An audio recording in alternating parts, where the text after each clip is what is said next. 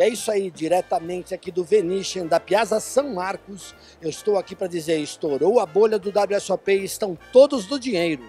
800 jogadores ainda seguem para o dia 4 do evento.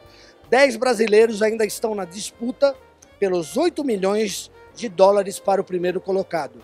Veja a entrevista que fizemos no primeiro break.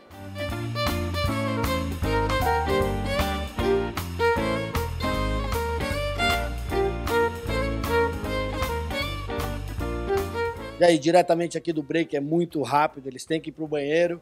Como é que tá lá, Moraes? Tô com 1.2 milhão, a mesa tá boa, mas vai quebrar daqui umas duas horas, eu acho. Mas vamos lá, vamos caprichar. Já no ITM, os dois aqui. E você, como é que tá, Grigolete?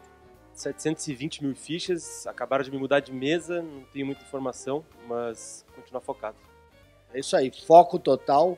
Os brasileiros estão arrebentando aqui na WSOP.